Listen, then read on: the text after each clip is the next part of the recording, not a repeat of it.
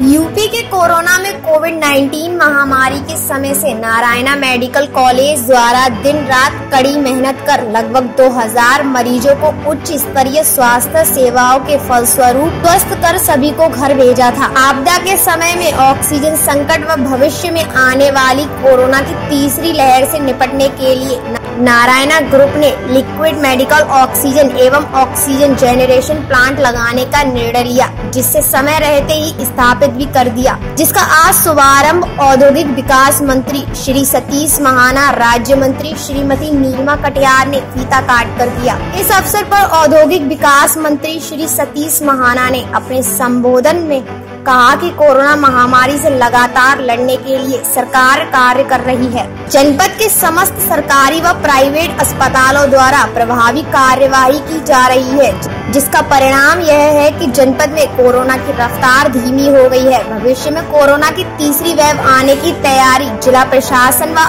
अन्य प्राइवेट अस्पतालों द्वारा किया जा रहा है। जनपद में ऑक्सीजन के लिए आत्मनिर्भर बनने के लिए प्रयास जारी है। आपको बता दें कि जनपद ऑक्सीजन की उपलब्धता में आत्मनिर्भर बन रहा है। इस अवसर पर राज्य मंत्री श्रीमती नीलमा कटियार, मुख्य चिकित्सा अधिकारी चेयरमैन श्री कैलाश नारायण, सचिव अमित नारायण आदि संबंधित लोग उपस्थित रहे।